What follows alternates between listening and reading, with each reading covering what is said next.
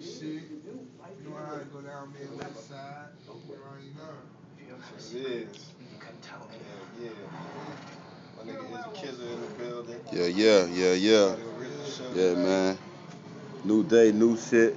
Dope show. Chip the Ripper definitely in the building. Kids in the hall. Behind the scenes exclusive. We on the set. On the set. And actually, We Dun behind Dunnis is here too, and so is 88 Keys. So you already know. And I am Chalk Mike. Man, I want to see that movie. I ain't